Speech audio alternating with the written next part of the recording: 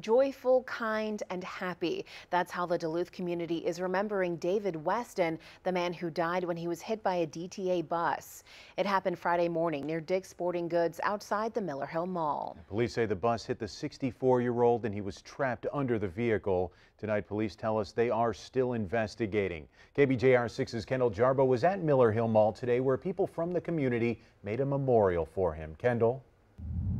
People left flowers, candles, and cards in honor of David Weston. There was also a bingo card with the number 22 on it, a special memory people have of the man who spent so much time at the mall. He was a happy soul. He brought joy to everybody.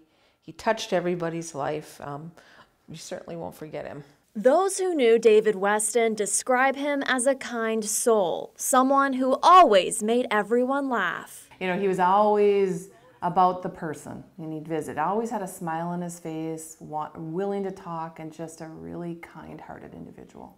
The Duluth man carried with him a contagious smile. Just because he had that big smile on his face, you couldn't help but want to talk to him. Weston had many hobbies, but what he loved most of all, bingo, especially his lucky number 22 we had a we've had a few virtual bingos through the pandemic and stuff and every time the 22 came up everybody's like two two you know and that's from david. Weston sought connections in several areas of the community but mostly at miller hill mall taking a bus there multiple times a week seeing his friends and always saying hi. Every time he came into the mall it everybody knew he was here the place he loved also the place he died I was at home when it all happened, and my boss called me, and I broke down at, at home.